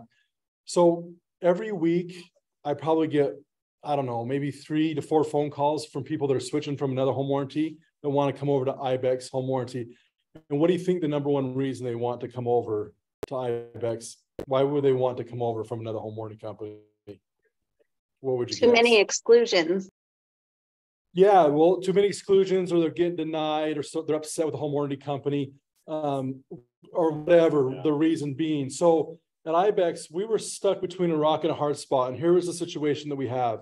Over the last few years, you guys have probably noticed inflation and everything that the prices have gone up. Water heaters have gone up from 350 to $400, garbage disposals, uh, drawers, blower motors, all the things that we purchase have gone up. Our contractors are asking for more money. So we had two options. We could stay at $600, but by doing so, we'd have to be a lot more strict on the gray areas. And we 40% of the stuff that we cover is gray area. We just say, go take care of it. That's just what IBEX does. Just take care of it. Or we'd have to start nickel and diming and charging for drip pans and earthquake straps and expansion tanks and code upgrades and removal of the old ones. And we didn't want to do that either. So we raised our price to $100. And We felt the blowback by going up $100 would be less significant than staying at $600 and turning into, you know, Bozo, the denial home warranty company, if that makes sense, honestly. And we didn't want to do that. So I wanted you to kind of know our contractors are the best contractors. We try to get there the same day. And we don't want contractors that are cheap. We we want good contractors. We want to be fast. But we did go from six to seven hundred dollars. But that was allowing us to maintain and keep on covering what we cover. Our contractors, when they go out, they don't have to call the office and say, "Hey, is this approved? Can I do this?" They don't even have to ask. They just go out there and do it because we cover everything. We cover everything 100% on this card. So they don't have to get a pre-approval. The only times that they may have questioned something is if they're going out there and they feel like it's fraud. Like somebody has said, Hey, I just moved in the house. My air conditioner worked yesterday and there's raccoons living in it and it's out in the treehouse. Um, you know, those are the types of things they may question. But other than that, they're going to take care of it. So we're owner operators. I just want you to know I've made this promise before. I'm sure you guys have heard it is this. I say, if you guys are truthful and honest with us and just have our back, I will never let you down. You can call me nights, weekends, whenever. I will always have your back. I will always do what's right. But like I said, know that we're a local company too, and we're trying to stay in business and we're trying to do things. So, you know, don't lie and try to deceive deceive us. But if you're truthful and honest with us, I'll never ever let you down. I, I can there's nobody above me. I don't have to ask permission from anybody. Just I will always do what's right and and, and make sure you look good. So anyway, but that's the reason for our, our price. Um, I always say this face right here is in the, the top 150 best looking loan officers. Oh, thank Utah- you very much. Utah County. What about Mike? He's in the top 10, right? He's in the top 100. Oh, there you go. That's so awesome. use these guys are great to us and but You're hey so awesome. But thank you guys for your time if you have questions uh, feel free to reach out to me anytime thanks and there, there's olive garden too if you have, you're on zoom and you want to come there there's there's more you can drive down here and get it He's got two bags of or, food right or here, we'll- guys. we can mail it to you We want to thank IBEX for being here and being our sponsor for the day. And thank you, Tana, for just keeping us all on track here today. Do you have that Google sheet? Do I need to go ahead and share the screen or unstop unsharing it? You're just fine. It's in the chat and I will stay on the Zoom for just a little bit longer, everybody. And then I will send you the link and everything later as soon as everybody gets a chance. Absolutely. And, and we'll, do we have the ladies that are here today sign our, our sign-in sheet and get that to you? It, it, I don't need it. You just need it. Okay, perfect. We'll take care of that. And uh, perfect. Thank you guys for having us here. And uh, I'll make sure that we send Tana the uh, the, uh, the the presentation slides so you can all have all those videos, all these tactics, and uh, all the best to you guys in your negotiations. Thank you. Awesome. Good stuff. Thank you. And and there we go.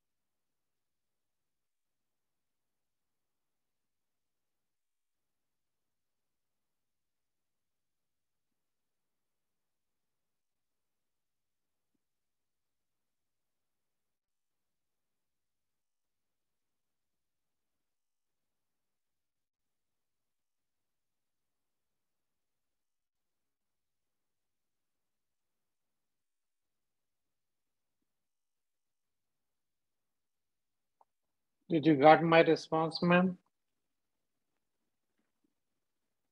I'm gonna, I will go ahead and check when everybody's um done so that I don't lose this Zoom, but I'm sure you, I'm sure you've done just fine. I'll be able to check Okay. in just a sec, but Okay, thank you.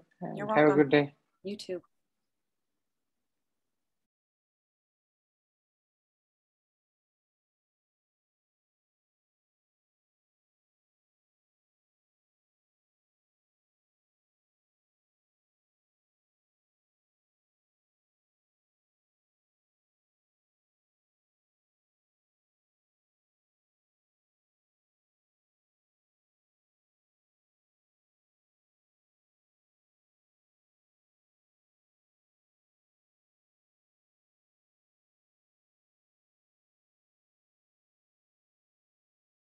Hannah? Yep. Hi, we only put our keywords in the, in the Google form, right? You'll need, um, to get credit, we need like your agent number, your first and last name, all that stuff. You have to fill. On the Google form. Yep. Yeah, I just saw, I just saw some of the words in chat and I, we don't need to put them in chat, right? Nope. Thank Okay. you. All right, thank you. It was a great Uh-huh. class. Okay. Thank you. Bye-bye.